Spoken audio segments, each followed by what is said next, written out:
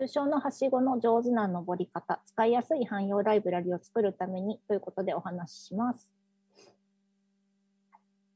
ね、まずこのセッションの対象ですけれども、えーと、複数のプロジェクトで同じような実装をコピペしてしまうのが悩みの人。えー、オブジェクト指向で書いてテストも書いてるのに改修するたびに改修範囲が広くなる人。それからオープンソースのライブラリーの作者になってみたい人。それからこういう PHP カンファレンスみたいなところで登壇してみたい人向けのお話になります。えー、早速ですが、こちらに抽象のはしごをご用意しました。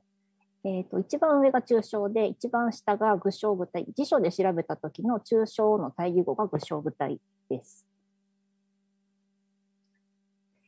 ところで、抽象とか具象具体って何でしょうか？辞書で抽象を調べると、多くのものや事柄や具体的な概念からそれらの範囲の全部に共通の属性を抜き出しこれを一般的な概念として捉えることとあります。例えばここに私という具体的な人間がいます。私を抽象化して表す言葉の候補ってたくさんあるんですけれども、えー、と例えば女性だとかペチパーだとかエンジニアだとかあるいは名古屋市民だとかカルテットコミュニケーションズの社員だとか えーと、今私が私の表す言葉として表したものをこの抽象のはしごの上になんとなく並べてみました。えーと、一番上に私人間なのでホモ・サピエンスって書いてあるんですけれども私をホモ・サピエンスまで抽象化してしまうとなんで私がこの PHP カンファレンスで登壇してるのかわけが分かりませんね。まあ、せいぜいエンジニアとかペチパーぐらいだと分かるかなって感じです。逆にコロナウイルスさんにとってはですね、私がエンジニアとか女性だとか名古屋市民とか関係なくて、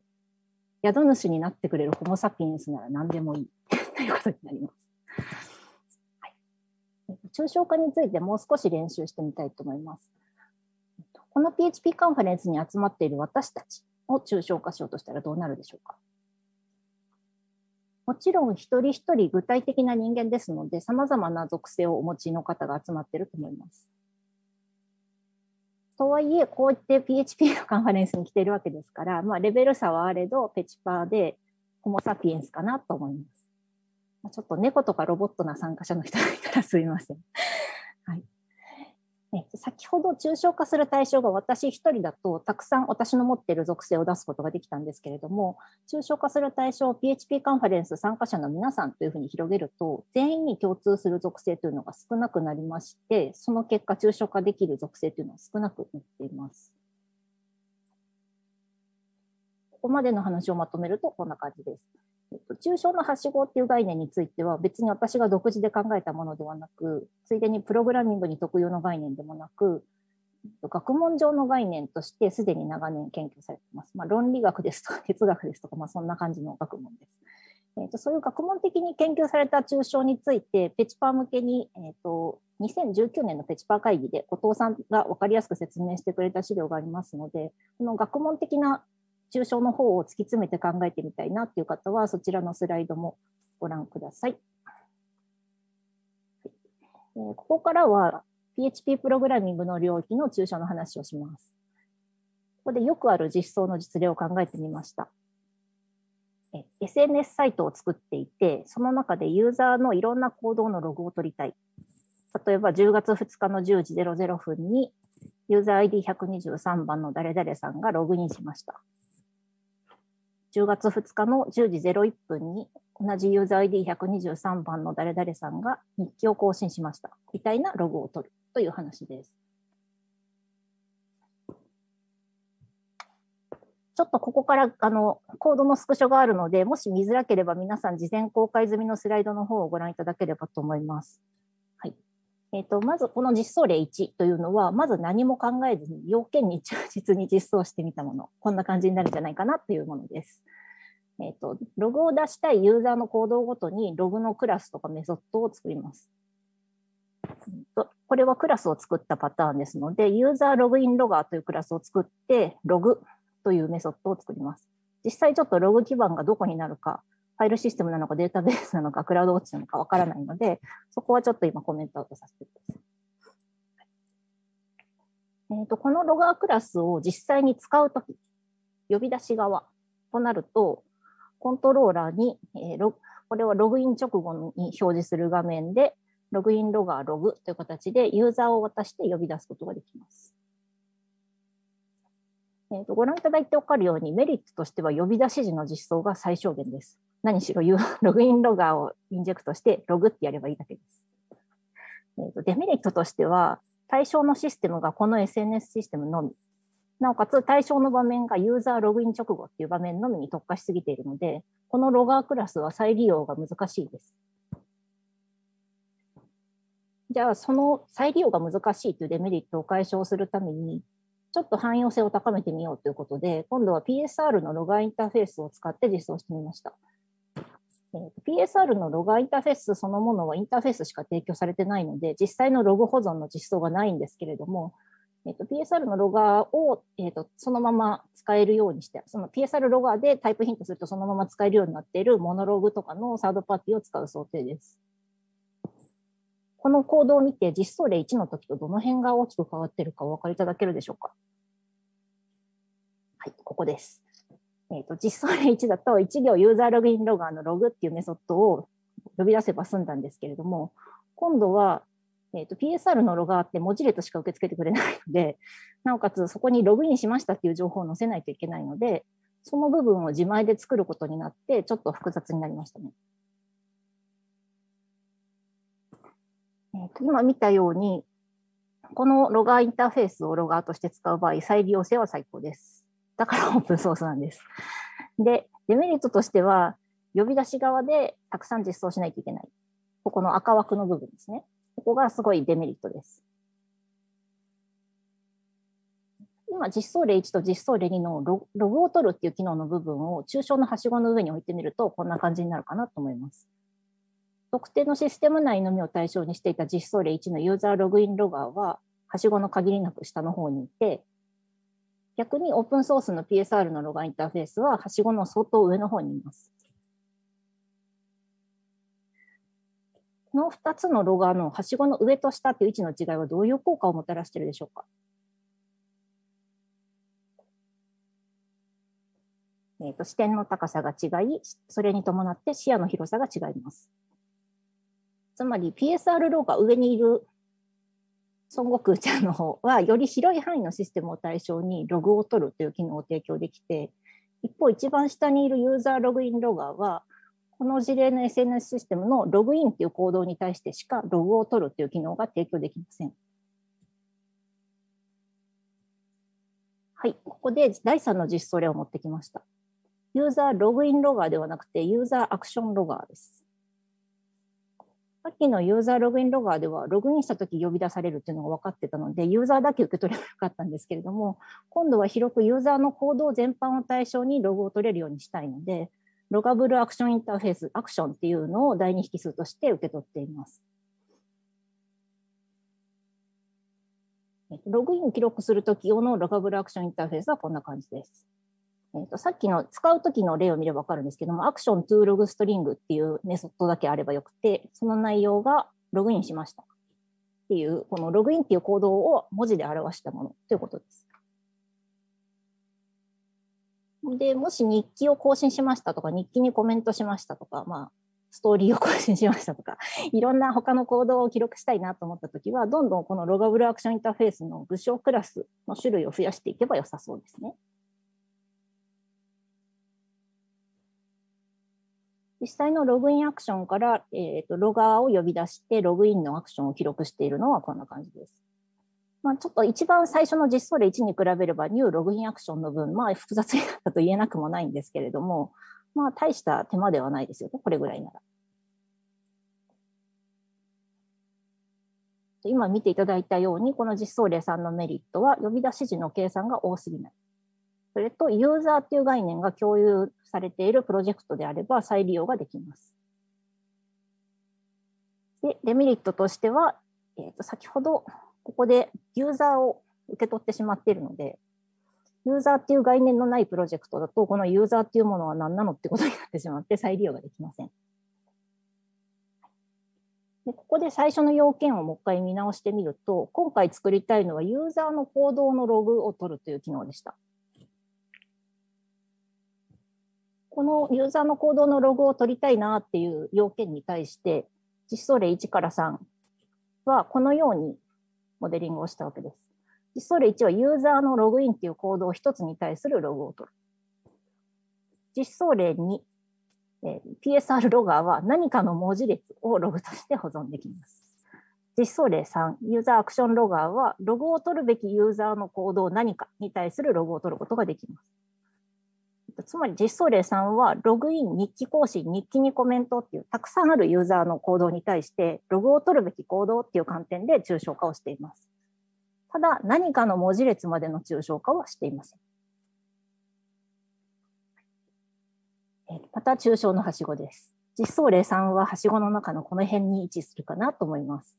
ちょっとはしごの色がさっきまで変わってるんですけど、イラスト屋さんの都合なんで気にしないでくださ。い、この3つのロガーは、抽象の高さを変えることで、それぞれログを取る機能を提供する対象としているシステムの範囲を変えていました。青い丸、今回の SNS システムのみ。赤い丸、ユーザーという概念が共通する別システムまで視野に入れることができる。黒い丸まで行くと、ユーザーという概念が共通しない別システムでも使うことができる。ということです。ここで見ていただいてわかるように、抽象度っていうのは高ければ高いほどいいというものではあります。抽象度を上げるのは必要十分な高さまでにしましょう。で、その際に必要なのが、自分が今から書こうとしているライブラリーのスコープとしてどこまで視野に入れるかっていうのをちゃんと想像することです。つまり、はしごをどこまで登るとちょうどいい高さかなっていうことを想像します。例えば、どういうことを想像したらいいのかというと、えーと、次のシステムが今使ってるのと同じバージョンのフレームワークじゃない。まあ、ララベルもシンフォニーもどんどん新しいバージョンが出ていきますので、これは十分ありますね。それから2番目、次のシステムがシンフォニーじゃない、次のシステムがララベルじゃ。これも十分あると思った方がいいと思ってます。何しろララベルが登場した時もうみんな衝撃でしたよね。今までの全く知らない新しい最高にいけてるフレームワークで、しかもそれが超流行ってるみたいなやつが3ヶ月後には出てるかもしれません。なので、この辺を視野に入れるためには、えっと、フレームワークに依存しないように、ライブラリ独自のユーザーっていう概念というかインターフェースを作って、それを、えインバージョンオブコントロールでうまく差し込めるようにしておくといいと思います。この辺は私の3月のペシパー会のあの YouTube に上がってるやつがあるので、気になる方は見てみてください。えー、と3番目、次のシステムにユーザー概念がない。これは視野に入れなくてよいです。なぜなら PSR ロガーとの比較の時に見たように、今回やりたいこととそもそも違うので、それはもう見ないことにする ということです。それから最後、次のシステムが PHP じゃない。これはね、正直、あなたが AWS のエンジニアだったら気にした方がいいかもしれません。でも大抵の私たちはただのペチパーで AWS を作ってるわけではないので、ユーザーログ専用の API サービスみたいなところまで上げる必要はないです。今例を出したみたいにどの辺の抽象度がちょうどいいかなっていうのを想像する力を鍛えると大事ことが大事なんですけれどもこの想像する力というのはシステムの要件とか設計アーキテクチャの知識と自社がこの先扱う予定のビジネスの知識っていうのを両方学ぶことで鍛えることができます。さて、ここまで話してきて、なぜ抽象ってはしごだったのかなっていうことをちょっと考えてみました。はしご以外にも上に上がるものとか下に下るものっていうのは世の中にいっぱいあるんですけれども、例えば階段って登ったままの姿勢でそのまま後ろ向きに降りることってできないですよね。ちょっと一回振り返って方向を転換しないと降りられません。で、エスカレーターは階段よりもっと難しくて、もう一番上まで登ってしまわないと安全に降りることができません。まあ、飛び降りりは別ですけど。それとエレベーターも一旦乗ってしまって11回ポチッと押してしまうと、10階まで着いた時点で、やっぱり9階だったって思っても、降りる、一 旦降りないと下ることができません。まあ、その点、はしごっていうのは登ってる途中で、おっと行き過ぎたと思ったら、そのままの姿勢で降りることができますし、また下り始めてから下りすぎたと思ったら、そのままちょっと登ることができます。この抽象度の調整っていうのは本当に微調整だと思うので、はしごっていう概念がすごいぴったりだなと私は思います。はいで、ここから 今そこにある練習用のはしごの話なんですけど、えっ、ー、と、同じ会社の同じチーム内に対しては自分が今何をしたのかみたいな、何を実装したのかみたいな話って、すごい具体的にこのシステムにこういうことやってさっていう、あの、超具体的な話ができると思うんです。で、親しい友達とか自分の家族とかに、どんな仕事やってんの？って言われた時って、そんな詳しい話って入れられないじゃないですか。コンプラとかで怒られちゃうんで、ちょっとぼかして、まあ、あの特にテック系じゃない人に向かってはこう例え話をしたりとかいう感じでちょっとぼかしていますよね。で最後、えーと、技術系のブログを書くときとかこうやってカンファレンスとかで登壇するときって突然なんかシンフォニーアプリケーションに OS ログインを実装する方法みたいな大冗談に構えてすごい抽象度を上げますよね。えーと、ここであの言いたいのはですね、ブログとか登壇ってすごいこの抽象度をどこまで上げるかなっていうののすごいいい練習になるんですよ。なので、えっ、ー、と、フィードバックが欲しいなと思います。この岸田の抽象のはしごの話を聞いて、皆さんがどこまで抽象度を上げて、その今日ここでそうかって思ったことを、ツイッターやらディスコードやらブログやらに共有してくれるかっていうのを私はすごく楽しみにしています。えー、と最後にこのセッションの対象、最初に見たこのセッションの対象の方向けの処方箋を共有して終わりにしたいと思います。えーと、複数のプロジェクトで同じような実装をコピペしてしまうのが悩みの人は、多分、抽象度が低いと思います。な ので、抽象度を上げてコピペじゃなく、ライブラリか自分の、えーと、パッケージ化、コンポーザーパッケージとして独立させるみたいなことを考えてみましょう。2番目、オブジェクト思考で書いて、テストも書いてるのに、回収するたびに回収範囲が広くなる人。こちらの方は多分自作クラスの抽象度が高すぎる可能性があります。なので、ちょっと抽象度を下げて、えーと、回収範囲が狭くなるように書き直してみてもらうといいかもしれません。3番目、オープンソースのライブラリ作者になりたい人。えーと、こちらは抽象度を自社でしか使わないものっていう範囲から1段階上げることで、それが作れる可能性が上がります。なので、1段階上げてみましょう。最後、カンファレンスで登壇したい人、えー、と別に大きなカンファレンスじゃなくて、地元のちっちゃな勉強会とかでもいいんですけれども、えー、と目の前の実装の抽象度をこう皆さんに公開できる範囲まで上げるっていう思考実験を自分が今からクラスなんか書くぞっていう時にこれをみんなの前でこう全世界に発表しようと思ったら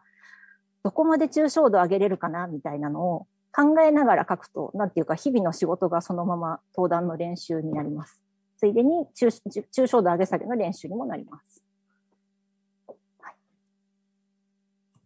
というわけで、えっ、ー、と、こんだけ喋って、最後にまたせん、またこの後喋るよ宣伝をするんですけれども、えっと、4時半からスポンサーツアーでカルテットコミュニケーションズの代表というか、あの、代表っていうか、なんていうのかな、開発部代表として皆さんに向かって、えっと、会社の説明とかをする予定がありますので、もし私の話面白いなって思ってくた方がいれば、この後4時半からスポンサーツアーにもいらしてください。以上です。ありがとうございました。